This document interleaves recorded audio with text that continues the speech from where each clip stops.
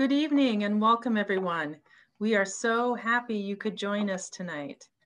My name is Lisa Bitney and I am the manager here at Tacoma Public Library. I'd like to welcome you to tonight's program, Tense Transitions of Presidential Power with Mike Purdy.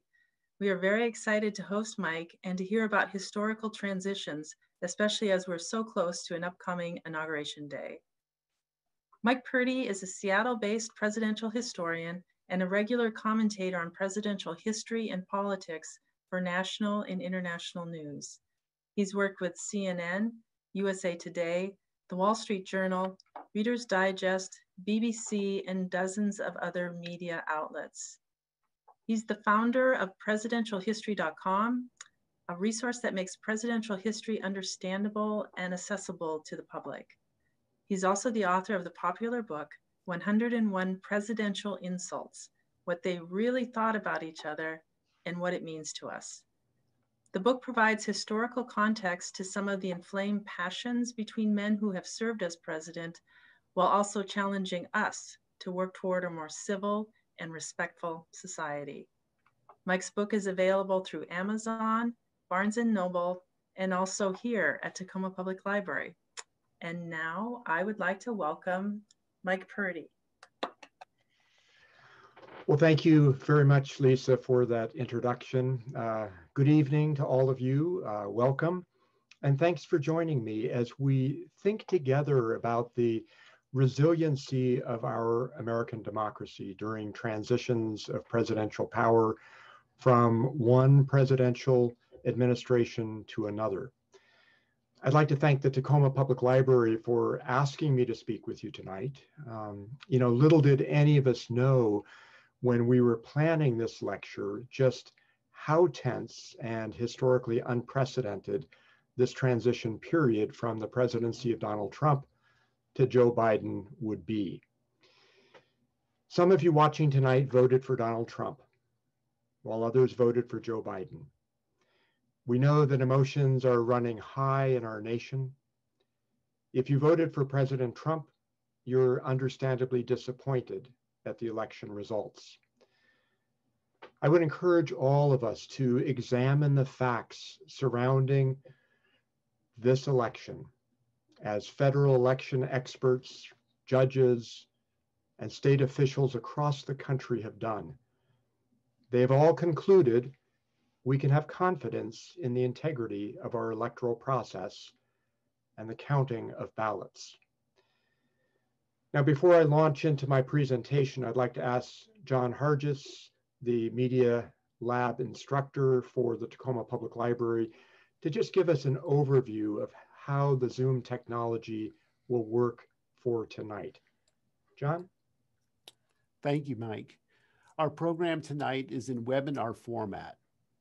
In a webinar, participants are muted. Um, we will have a Q&A session immediately following tonight's program. And we encourage people to ask civil questions about our transition of power. And we hope to allow plenty of time for those questions to be addressed. So without much further ado, I see that Mike has found his uh, PowerPoint screen. So I'm going to go ahead and turn it back over to Mr. Purdy to continue the presentation. Thank you, Mike. Thank you, John. So while on one hand, January 6, 2021 may be remembered by history as Insurrection Day, you know, perhaps we should more appropriately remember it as Democracy Day. It was a day when the framework and institutions of our great American experiment in self-government held against a violent attempt to overthrow it. Certainly there was tragic loss of life and our glorious Capitol building was desecrated when it was stormed assaulted and pillaged, not by a foreign adversary as occurred in August of 1814 when British troops burned the building, but by domestic insurrectionists intent on overturning the results of a legitimate presidential election. It only delayed the certification of Joe Biden's election. Next time, we might not be so fortunate. You know, violence has no place in American politics. As a nation, we have always been committed to the peaceful transfer of power from one president to the next. Now, that's not to say that there hasn't been violence, but what has happened since the November election is without historical precedent. What I'd like to do tonight is to share with you some stories of some tense historical presidential transitions that really pale in magnitude to what we've been witnessing since the November 3rd election. I'll then summarize the current attempts to undermine the election results and, and why that is so damaging to our republic. And I'm sure there'll be plenty of time for questions and comments I'd like to respond to at the end of the presentation. I want to approach this subject under the framework of six major headings. Inauguration boycotts, delayed election results, violence, charges of fraudulent elections, a grudging transition. There were more than one. I'm only going to share with you one. And then the 2020 election. One of the hallmarks of our democracy is the peaceful transition of presidential power. This is most visibly symbolized by the presence of the incumbent president at the inauguration of their successor. As the third presidential election loomed in 1796, the big question on many minds was whether George Washington, considered indispensable to the foundation and success of our fledgling republic, would stand for election for a third time he declined. And his vice president, John Adams, ran and became president. It was the first peaceful transition of presidential power. But in 1800, Adams, who had lived in the White House for just four months since its completion, was defeated by his vice president, Thomas Jefferson, for another term as president. But only after some electoral drama. So Jefferson and Aaron Burr were tied with the most number of electoral votes for the Electoral College. They each had 73 votes. Adams trailed them with 65 electoral votes.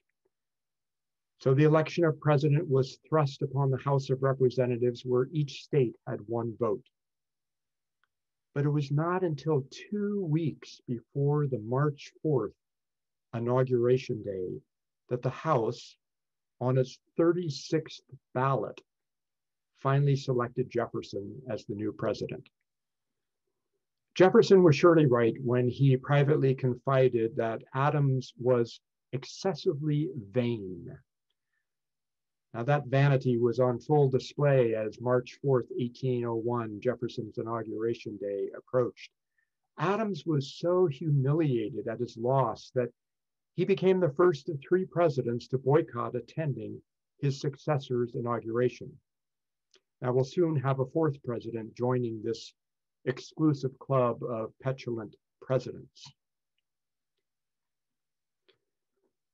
At 4 a.m., on Inauguration Day, while it was still dark outside in Washington, D.C., the sullen John Adams quietly slipped out of the White House without fanfare and boarded a public stage to return to his home in Massachusetts. It was too much for him to witness his former friend, but now bitter rival's electoral victory over him. But it was a peaceful transition of presidential power. Like father, like son, when John Quincy Adams was defeated in 1828 for a second term in the White House by Andrew Jackson, he too chose to boycott the inauguration of his successor, Andrew Jackson. He bested his father by leaving the White House in the evening of March 3rd, 1829, whereas his father had stuck around till 4 a.m. on Inauguration Day, and he chose not to witness Jackson's inauguration. Now, there was a lot of animosity between Adams and Jackson, stemming from a highly controversial and contested election just four years earlier, in which Adams had prevailed over Jackson through a vote by the House of Representatives, just less than a month before Inauguration Day. In the 1828 rematch that Jackson won, Adams was gracious in trying to have a smooth transition, but Jackson rejected his overtures for assistance. But it was a peaceful transition of power, despite Adams skipping town before Jackson took the oath of office to succeed him. Andrew Johnson, who had succeeded to the presidency upon the assassination of Abraham Lincoln in 1865, failed to obtain the nomination of the Republican Party to run for president in his own right in 1868. Instead, they so selected Civil War hero Ulysses Grant as the standard bearer for the party. Grant won the election, but there was no love lost between Johnson and Grant. During Johnson's impeachment trial, Grant confided to one senator about Johnson that, quote, I would impeach him if for nothing else because he is such an infernal liar. Johnson had a prickly and volatile personality, and he boycotted attending Grant's inauguration, choosing instead to remain at the White House to sign legislation.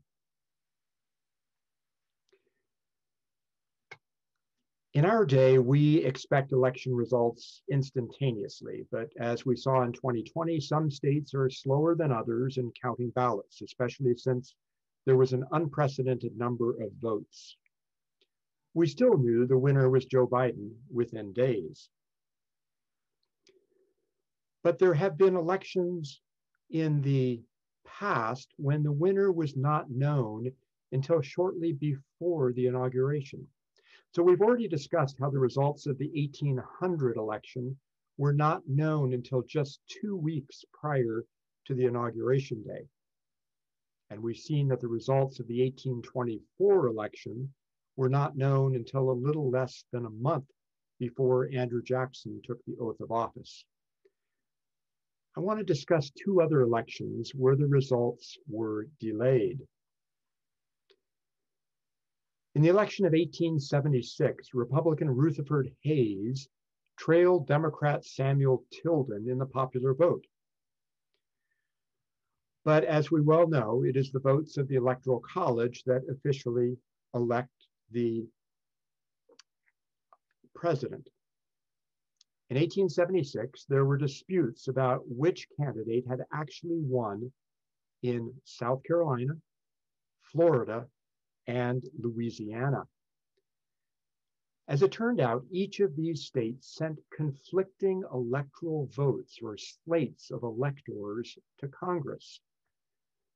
After much debate, Congress decided to create an electoral commission to determine which candidate had won each of these three disputed states. And if you watch some of the um, debate about certifying Joe Biden's election. There were some folks who were suggesting an electoral commission again, and they talked about the 1876 election.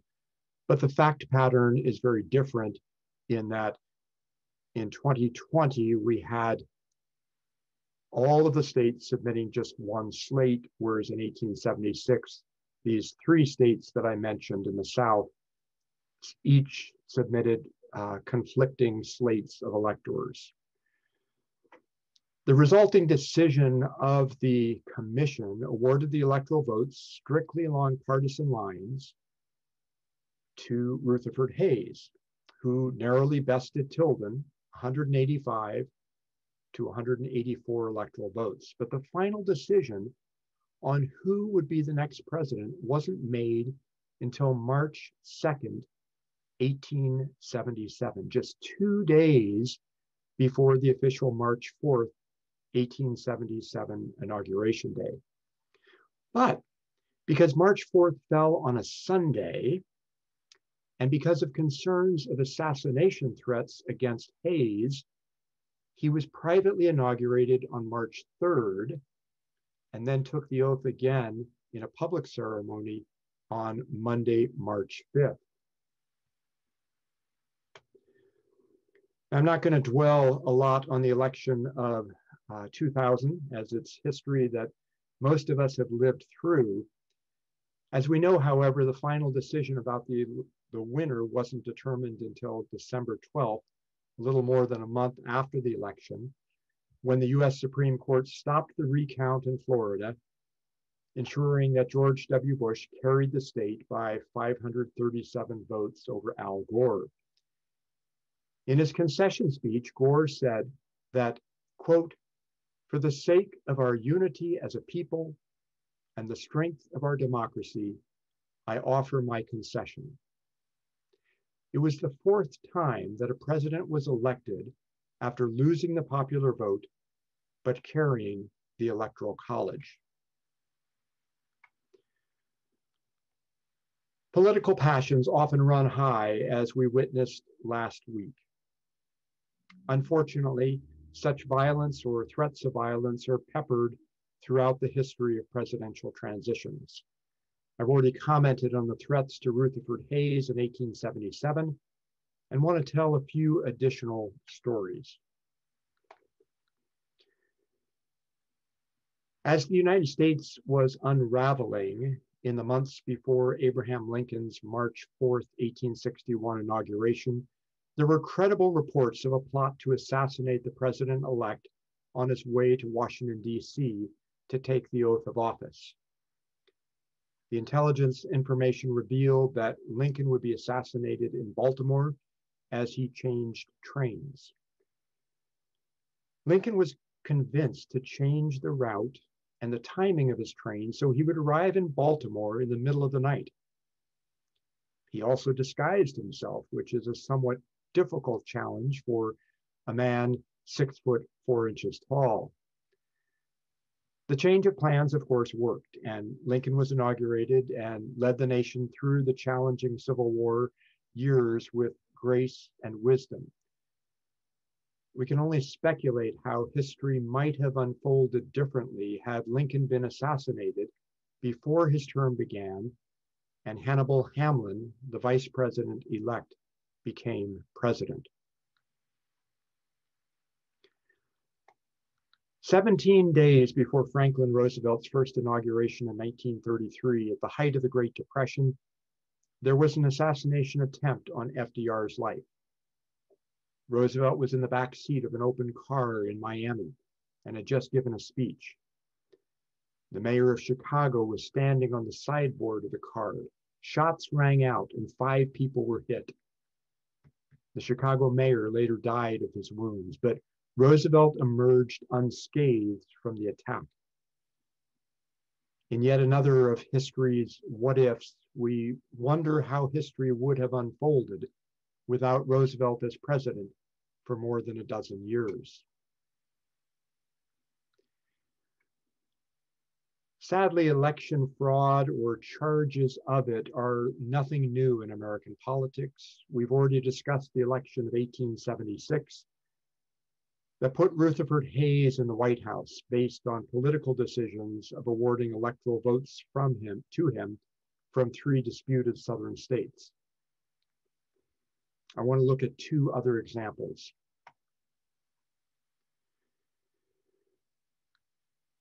In the election of 1824, none of the four major candidates obtained a majority of the Electoral College votes. The leading figures were John Quincy Adams and Andrew Jackson.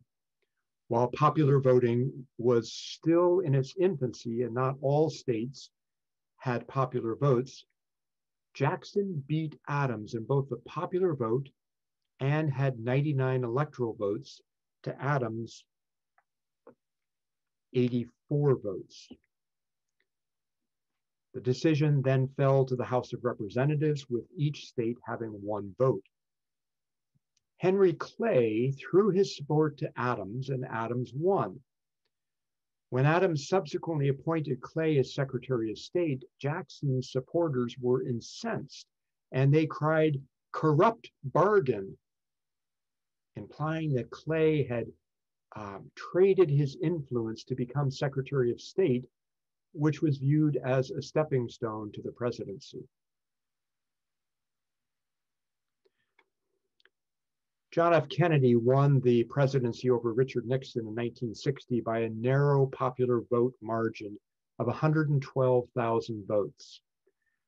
Rumors persisted, however, of fraudulent voting in Illinois, where Nixon lost by just 9,000 votes, and there were concerns about the Chicago machine of Richard Daley um, changing votes, and Texas, where Lyndon Johnson was strong, um, and Nixon lost by 46,000 votes. If Nixon had won those states, it would have been enough to win the Electoral College. Nixon confided to a journalist friend about the potential fraud that, quote, our country cannot afford the agony of a constitutional crisis. He chose not to dispute the election. I want to give one example of a grudging transition, um, not to say that there haven't been others. Um, it, you know, Donald Trump joins 10 other sitting presidents who have been defeated for reelection, and it was not fun for any of them. At the height of the Great Depression, Herbert Hoover was electorally evicted from the White House by Franklin Roosevelt, a man who had once been one of Hoover's biggest fans. Hoover harbored feelings of humiliation at his defeat after FDR's runaway election victory over President Hoover, the president elect paid a visit to Hoover in the White House to discuss transition issues. Hoover was not impressed with his successor. He groused privately that FDR was, quote, a gibbering idiot.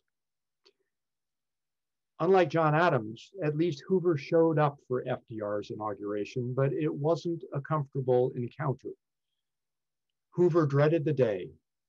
The president-elect's car pulled up to the White House to pick up the president for the ride down Pennsylvania Avenue to the Capitol, where FDR would take the oath of office. Hoover greeted FDR before getting in the car, but there was an awkward tension in the air as the two former friends and colleagues, but now bitter rivals, sat in the back seat of an open convertible with their shoulders just inches apart. They barely spoke to each other on the short trip. FDR flashed his famous smile to the crowds lining the street, while, while an unsmiling and petulant Hoover awkwardly endured what he viewed as a very public humiliation. At the conclusion of Roosevelt's inaugural address, Hoover rose, perfunctorily shook the new president's hand, and left immediately for the train that would take him to his political exile in New York City. It was the last time they ever saw one another.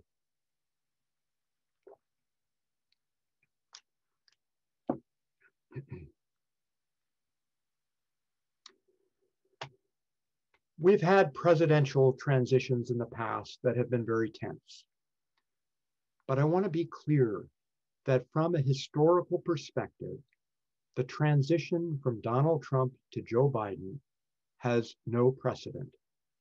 Regardless of whether you love or hate President Trump, the facts of the aberrational nature of this transition speak for themselves. I want to quickly review just some of what we are witnessing in this transition.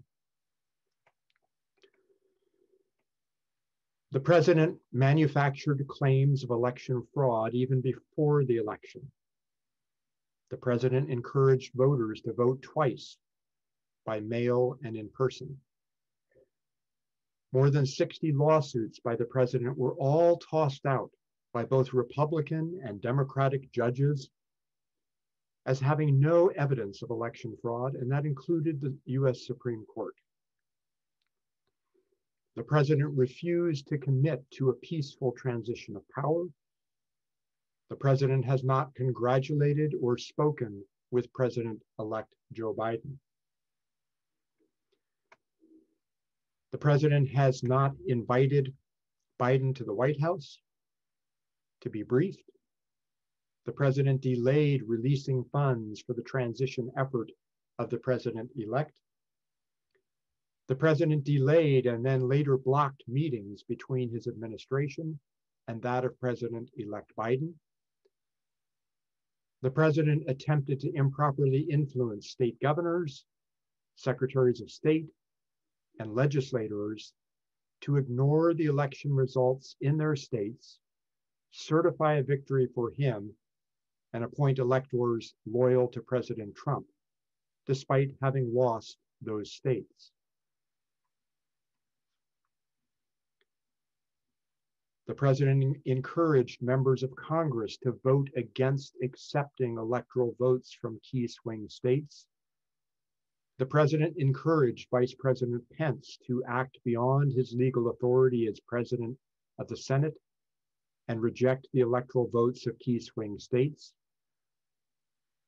With his false narrative of a stolen election, the president incited his supporters to attack the US Capitol in an effort to delay and overturn by force the counting of electoral votes by Congress. Former President George W. Bush said, quote, this is how election results are disrupted in a banana republic, not our democratic republic, end of quote. The president's role in the attack on the Capitol, of course, resulted in his second impeachment by the House of Representatives yesterday. The president has refused to concede. Now, under duress from his staff, he did offer a weak acknowledgement that a new administration would take office on January 20th, but only after the assault on the Capitol. The president's advisors, such as Michael Flynn, have encouraged the president to declare martial law, suspend the Constitution, and have the military conduct new elections. The president has announced he will not attend the inaugural ceremonies of his successor. He will be the fourth president to boycott the inauguration of his successor.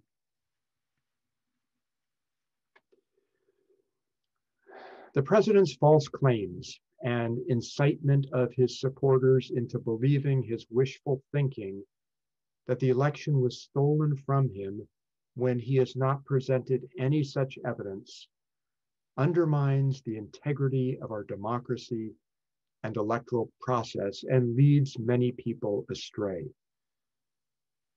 We need to remember that truth is important, not simply wishful narratives promulgated by the president and some media outlets that have no basis in fact.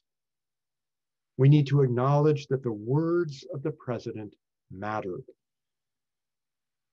The transition from Donald Trump to Joe Biden is clearly the most tense transition of presidential power this nation has ever witnessed. My plea is that all of us, whoever we voted for, would treat our fellow citizens with civility and respect, and we would embrace objective truth and facts as we attempt to heal our land and lower the emotional rhetoric of our times. I'd be glad to answer any questions that you may have at this point. Um, Lisa, what questions have come in? Thank you, Mike. That was really interesting. And just to reiterate to everyone, um, in the Q&A at the bottom of your screen, if you click on the Q&A, you can enter in questions that we're going to ask of um, Mike. Um, I have a couple to get us started with. Um, the first question I have tonight, How can we best discuss the inauguration and its importance with those who in their hearts do not feel that our election was legitimate? You know, that's such a great question because what we're dealing with is we're dealing with the, um, th there, there are, in my opinion, um, in the opinion of judges and, and, and courts and election officials, everybody has said this was a fair election. Um, and, and so we've got a lot of people in the country who are getting their news, getting their anger from what the media is saying and what President Trump is saying. And so I guess the best way to engage people on the question is to say, let's talk about it. Let's talk about, tell me what you think the facts are about why you think this was a stolen or fraudulent election. And, and try to have that conversation based on real information, not just a, a, narrative that's been created um, out of thin air. Um, it, it's an incredibly difficult question. Um, we, we, have, we have people who are living in two different worlds because we're getting information from different sources. And some of that information is fact-based and some of it is not. Um, it, it's, a, it's a big challenge that we all face, certainly.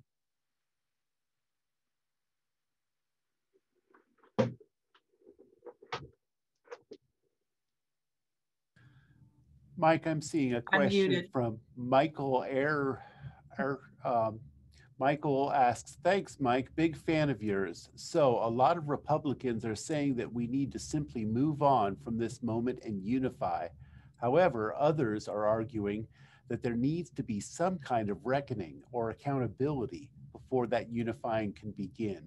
What are your thoughts? Well, you know, the, the, the that, you know, frames the question very well, I think. Uh, hello, Michael. Uh, good to hear from you.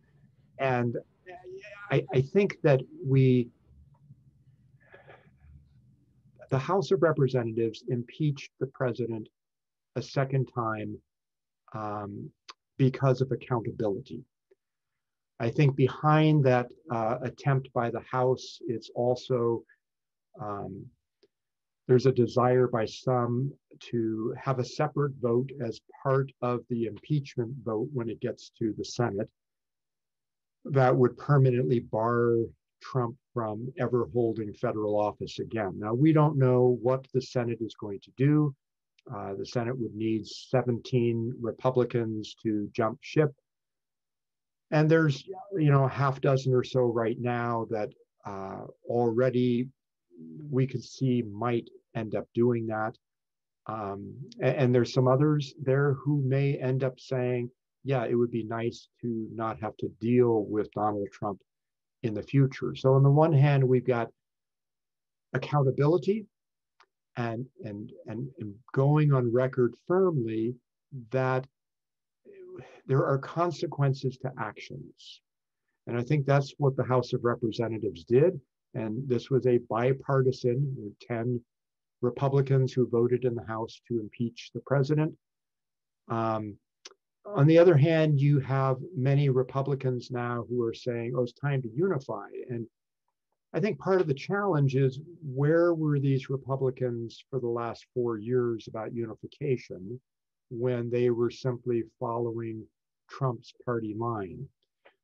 There is some anecdotal evidence um, that some Republicans in the House of Representatives wanted to vote for impeachment. They felt like uh, the president should be impeached. It was an impeachable offense, but they are quite frankly uh, fearful for their lives and the lives of their families. Um, Vice President Pence is in some danger because he chose to uh, stand up to Trump and to say he had no legal authority to overturn the results of the Electoral College. And so when the insurrectionists were going through the Capitol, um, last week, um, there were cries of, you know, where's Mike Pence? And they wanted to find him and hang him. So there is a real threat of physical violence to Republicans who end up saying, yes, we should impeach the president, we should remove him from office, we should prevent him from being able to hold office in the future because uh, Donald Trump has stirred up a, a, a group of people um, toward violence. So it, it's a very difficult situation. Okay, thank you, Mike. We have a question from Ernest here who asks, is the Electoral College still useful or out of date in 2021?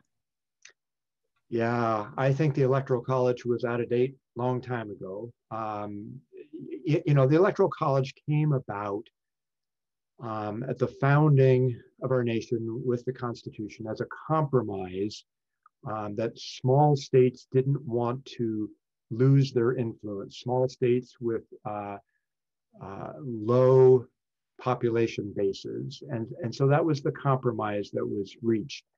That still holds true today that those small states, Wyoming, Montana, you can think about those states that have very few, um, uh, very small population, very few electors, and they don't want to lose their influence. And, and, and they would view the, um, the abolition of the Electoral College as um, a decrease in their power in national politics. And it's true that would happen because Wyoming has, you know, uh, I, I, think fewer uh, voters than the city of Seattle does. Uh, but they've got three electoral votes and, and they don't want to lose that. But, you know, most nations um, and, and what we are most used to even in this country, other than presidential elections, we're most used to whoever gets the most number of votes overall should be president. So I don't think it's useful. I don't think in this current political environment, we're likely to see it being abolished. It would require a constitutional amendment. There, um, there's a couple of workaround um, things to the Electoral College. One is that uh, there's something called the National uh, Interstate Voter Compact, where a number of states have, through their legislatures, passed legislation saying that when there are enough states who pass similar legislation, uh, this uh, compact would go into effect. And what the compact would say is that those states would agree to award all of their electoral college votes to the winner of the national popular vote. So there's maybe a dozen plus states that have agreed to this so far. Um, they're not up to uh, states representing 270 electoral votes yet, um, mainly because the, the states that have agreed to this are primarily Democratic leaning states. And again, Republican leaning states are not going to be in favor of it. The other workaround is that uh, just like Maine and Nebraska uh, don't award all of their electoral votes to the winner of the state, but they award it by congressional district. So this is something, um, you know, how the electoral college votes are awarded by states is up to each individual state. So uh, individual states could uh, change their policies instead of a winner take all. Because right now, you can have, uh, let, us pick on Arizona. Um, let, let's say Joe Biden had won Arizona by one vote. Well, he would have gotten all of Arizona's electoral votes. So states could go to a congressional basis or they could go to a proportional basis. Um, again, this is a big um, uh, battle, I think, between uh, small states and large states, between urban and rural. And, and we're likely to continue to see that for a while. Okay, thanks, Mike. Uh, Terry asks, impeachment is such a political process. What other avenues may be used to discipline the president for his actions on January 26th?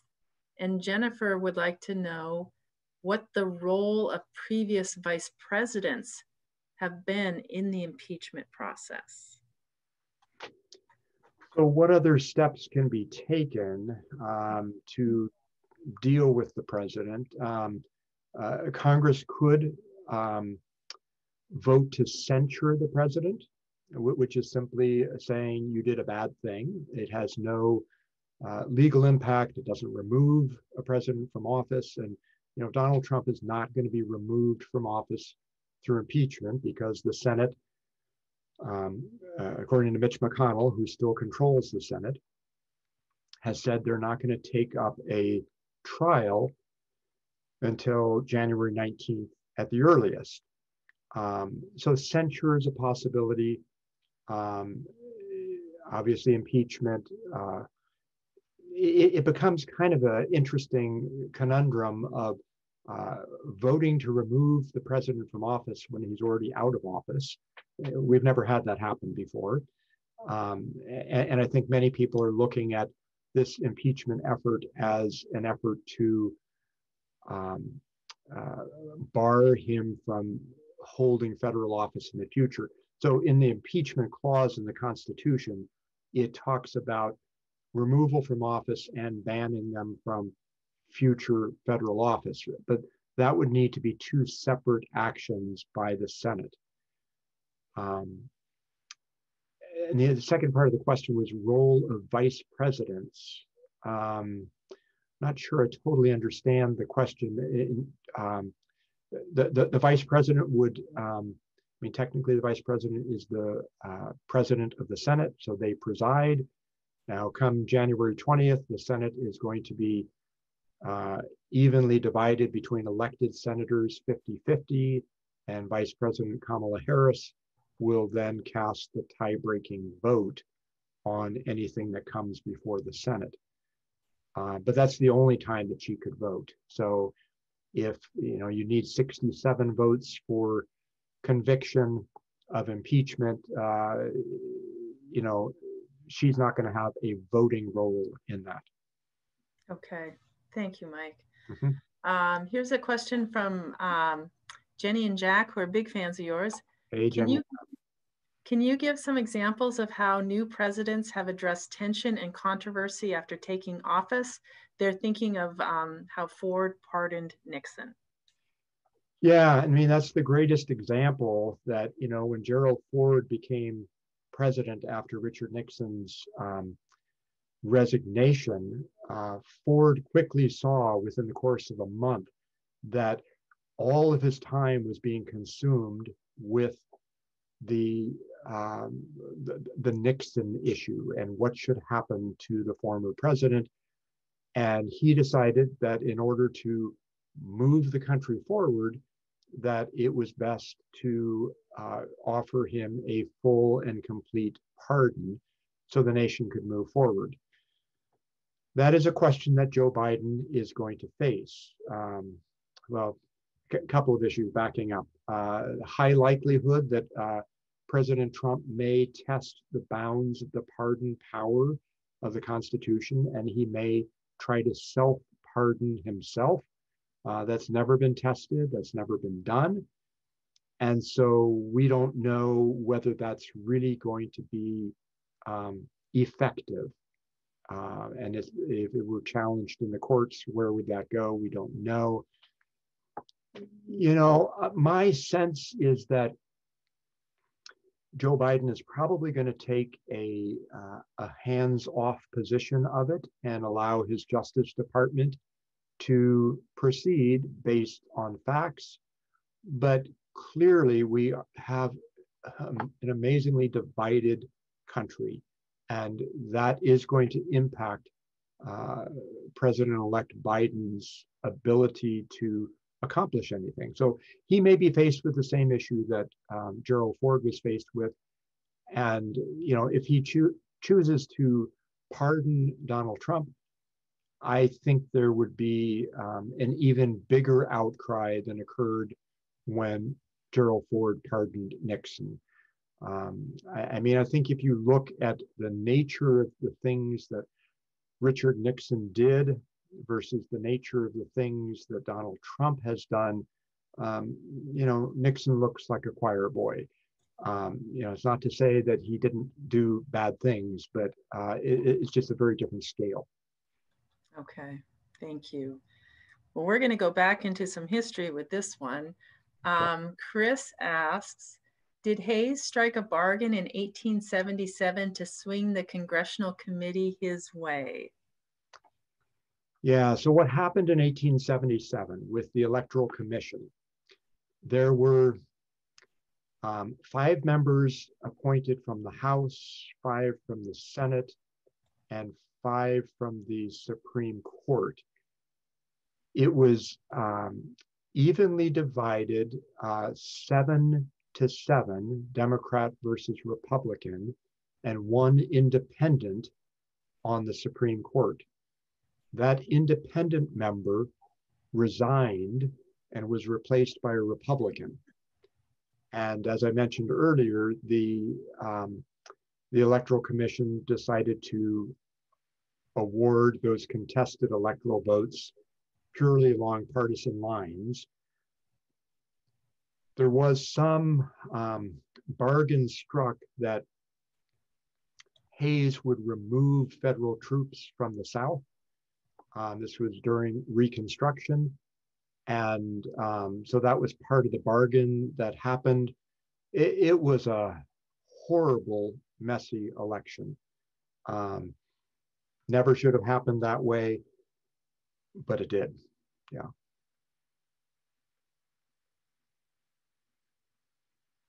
Okay, thank you. Um, here's another question. Has any other president faced such big challenges? For example, a deadly pandemic, a shuttered economy, deficits, racial unrest, unrest that reveals a caste system based on white supremacy, infrastructure, climate change, and a fiercely divided country. Any recommendations from history on how to overcome those challenges? Great question. So, you know, of that list, you know, I don't think there are any direct parallels to that list, but I would point to two uh, presidents who took office in um, some pretty dire circumstances. One, Abraham Lincoln in 1861. Uh, so the Union was disintegrating. Southern states were seceding from the Union, and um, it, it was a pretty traumatic time. Secondly, would be 1933 when Franklin Roosevelt took office at the height of the Great Depression and, and so there, there's a lot of parallels there in terms of economic collapse. So we've got economic collapse now. Uh, we didn't have a pandemic then. Um, I mean, we've got a, a, a number of issues all coming together now that we didn't have in any of these other transitions. But in, in terms of um, how bad things were, I'd look to 1861 and to 1933. And so, what are the examples we can learn from those? Um, well, Abraham Lincoln, uh, of course, famously selected a cabinet um, who consisted of men who had run for the presidency against him, the, the team of rivals. And, um, and, and so he brought in a lot of disparate viewpoints to help him manage this crisis. Lincoln was also just an incredibly wise man. He was the right man for the times, just as Franklin Roosevelt was the right man for the times. Franklin Roosevelt um, decided to um, take bold action. He made a statement, it was actually during the 1932 campaign, that, you know, if, that if one thing didn't succeed, that he wanted to try something new, it, it, that the nation required bold experimentation. So you've got Lincoln and FDR as very strong and politically savvy leaders who were able to lead us through some very difficult times. So Joe Biden is a very experienced hand. He's been around for a long time. He knows the ins and outs of Washington, D.C., like probably nobody else.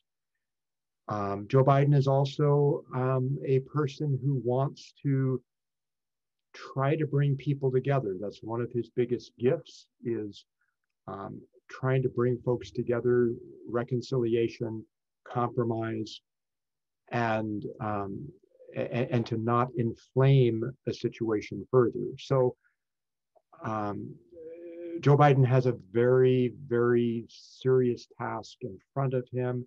Um, but I think just as Lincoln was the right man for the times in 1861 and Franklin Roosevelt in 1933, I think Joe Biden is the right man for 2021. Great. Thank you, Mike. Mm-hmm. Um, another question Rick is wondering Have there been any significant impacts to governance over rocky transitions? What about foreign relations? Um, you know, the one uh, thing that comes to my mind, well, two things that I'll talk about. One, I'll go back to 1933, the, the uh, Great Depression. And uh, during that period of time, you had Herbert Hoover reaching out to FDR to try to get him to agree to certain actions. And FDR said, no, I'm not the president. Uh, we only have one president at a time. And, and I think behind that, there was also a political ploy, and that is that, that the worse things would get, the better he would look in terms of being able to solve problems. Um, so, so that did the, the rocky transition did impact things. I mean, there was really more than the rocky transition. with the difficult times we lived in. In 1968, um, there were charges that uh, Richard Nixon was um, uh, taking some actions, uh, and I don't have the, all the details on the top of my head, to um, basically impact some foreign policy with respect to Vietnam. And, um, and you know, LBJ knew about this and uh, chose not to raise that um, but, but some people have said that Nixon was kind of borderline traitor. You know, the transition period between presidents is um, it's a very vulnerable time for the country, especially if there has not been good cooperation and good transition and good information being passed from one administration to the other. And it's a time that our foreign adversaries can take advantage of things that are going on. Um, so we do need to be on high alert. Okay, thank you. Mm-hmm. Um, Stacy says, I'm hearing a lot of varying information about what the second impeachment does. Everything from preventing Trump from holding office again to removing his ongoing Secret Service protection and other ongoing post presidential benefits that cost taxpayer. Can you clarify what this second impeachment could do? Sure. So um, it, it's obviously not going to remove him from office.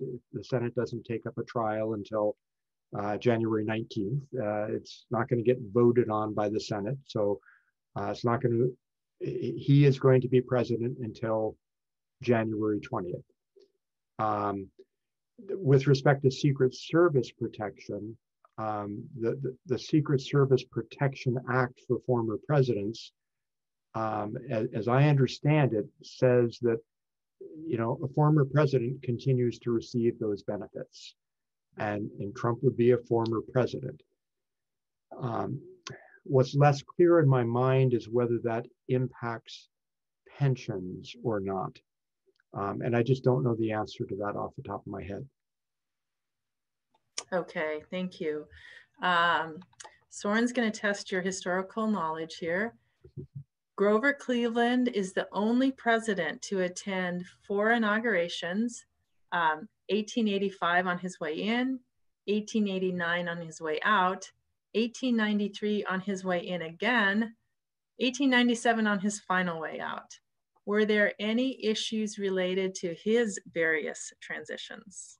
Yeah, great question. So um, Grover Cleveland is the only president uh, who has served two non-consecutive terms. So he was our 22nd and our 24th president. Uh, so he won as the 22nd president. And then uh, in the next election, um, he won the popular vote, but Benjamin Harrison won the electoral college vote. So Cleveland was out of office. And then uh, Cleveland came back in a rematch with Harrison, and Cleveland won the electoral college. Um, I am not aware of any transition issues that came up um, based on those various transitions. Um, not to say that there weren't, but they, I, I, don't think they they rose very high if there were. I mean, there's always going to be transition issues, but I think one of the things that um, 2020 has shown us, and actually the entire presidency of Donald Trump has shown us, is that a lot of our institutions rely upon the goodwill of the person who is president. Uh, that there's a lot of things that aren't in the law, but we just expect people to do the right thing. And, uh, and by and large, presidents have done the right thing. Yes, we've had some presidents who have boycotted the inauguration of their successor, um, which, you know, I think is poor form um, because part of what we want to do is we want to say that we are um, acknowledging the peaceful transfer of power. But uh, I, am not aware of any issues with the Cleveland transitions. Okay, thank you. Um, so we're now going to play What If and rewrite history here tonight. Uh, Rick, Rick is wondering, what do you think would have happened if Nixon had challenged the results in Illinois? Oh, gee, that's a great question. so there would have uh, had to have been a, a lot of investigation. So, like I said, 9,000 votes in Illinois, charges that Chicago Mayor Richard Daley was pulling strings, having you know dead people vote in alphabetical order, um, and things like that. Did that tip the scales? We know that Texas, where LBJ was from, uh, LBJ was a master at electoral manipulation. Uh, he had some very questionable uh, races where the voting was probably fraudulent. What would have happened if Nixon had challenged it? Um, I, I, guess there probably would have been some kind of an investigation. Um, whether those investigations produced any change, you know, I think is doubtful um, because you have LBJ controlling um, certain counties in Texas. You've got Richard Daley controlling Chicago. Uh, that's probably not going to happen. I think Nixon realized that that wouldn't happen. Um, you know, had Nixon you know, successfully challenged it, and uh, people found out the fraud, assuming there was fraud, and it's not a foregone conclusion there was, but speculation.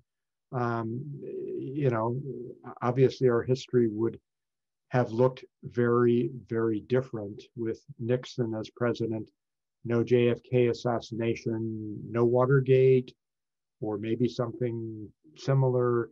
I mean, who knows? We can spin our minds wildly about uh, those what ifs. Okay. Well, thank you. That was fun. Yeah. Um, we've we're, we've got time for one more, and we're we're going to finish up with. Um, we're going to ask you for a prediction. Uh, Karen and Howard are interested in learning from you. Is violence probable on January 20th? Oh, gee.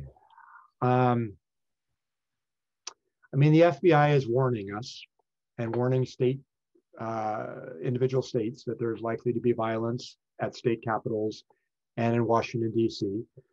Um, in Washington, D.C., they have shut down the, um, the mall um, because of fears of violence, and they've shut down streets around there. Um, you'll note that um, I, you remember I talked about the, the plot against Abraham Lincoln when he's traveling by train to his inauguration. Uh, Joe Biden was planning to take the train from Wilmington to Washington, D.C., just like he did for decades as uh, a senator. And because of security concerns, that has now been scrapped. Um, so I think it is a real risk. I don't think that the electoral violence um, that occurred last week has changed um, the minds of any of the people who were responsible for it. And so I think it is a real risk. I think that, at least in Washington, D.C., that they are a little bit more prepared. There are some 20,000 National Guard who will be on duty there. Um, that's a pretty significant force. So uh, insurrectionists would need to have a lot more people on hand. But, you know, Donald Trump has stirred up a lot of passions um, and, and, so that's possible. I think the, the bigger risk is probably in state capitals who don't take the FBI's warning um, seriously enough and don't really beef up their security. So, yeah, I think it is a real possibility. You know, we, we, we've seen it unleashed last week, and I think that's going to be hard to put that genie back in the bottle. Okay. Um, I know I said that was the last question, but I think I'm wrong now because after that, I feel like I have to ask the final question from Bertha, who says, Do you believe that our nation can heal after this? That's a great question. You know, I, I think that the words of the president um, make a difference. And we've seen in our history both positive and negative examples of that. Um, you know, Franklin Roosevelt was inspirational. John F. Kennedy was inspirational. Ronald Reagan was inspirational. Their words made a difference. Um, Andrew Johnson was belligerent and a racist and said things that were intemperate. Um, Donald Trump has done similar things. I think the president sets a tone. My, my big concern is that, you know, even with Trump out of office, even with Trump um, banned from social media, that something has been unleashed and um, people are very angry and it's going to take a lot to bring about healing. I don't think that everybody who voted for Donald Trump is an insurrectionist or who or believes in violence. But I think it's going to take some deliberate efforts to try to bring our nation together again. So one of the things I just comment on is, um, and, and, Lisa, you mentioned this in the introduction, talking about my book, which, you know, 101 presidential insults, what they really thought about each other and what it means to us. So it's kind of a funny, shocking book, what presidents have said about each other. And this has happened forever. Uh, Trump has, you know, upped the ante quite a bit not only against former presidents, but against anybody who crosses his path. But what I tried to talk about in the introduction is the importance of civility and that we need to, as a nation, um, try to come together. I, I think Joe Biden, um, again, like I said, I think he's got a huge task in front of him. And um, because we've got so much dissent and so many people who are upset with how things are going. They don't feel like they're getting a fair shake. Um, can we heal? Yes, I think we can. I think it will take time though. Okay, Mike, thank you. Thank you so much. And I want to thank everyone who came to our program today. Um, we had a lot of great questions in the Q&A and um, unfortunately we weren't able to get to all of them.